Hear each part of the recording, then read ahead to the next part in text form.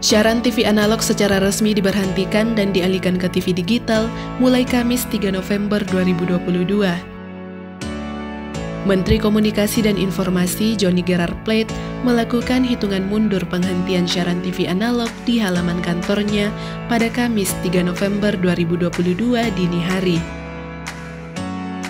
Pelaksanaan analog switch off sebagai amanat Undang-Undang Nomor 11 Tahun 2020 tentang Cipta Kerja diharapkan dapat menumbuhkan industri penyiaran televisi nasional.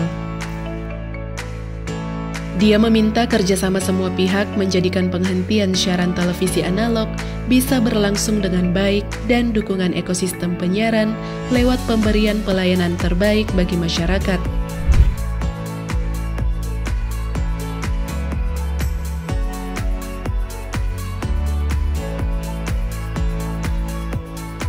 Digitalisasi siaran televisi menjadi era baru dalam menyajikan variasi konten dengan kualitas yang lebih meningkat.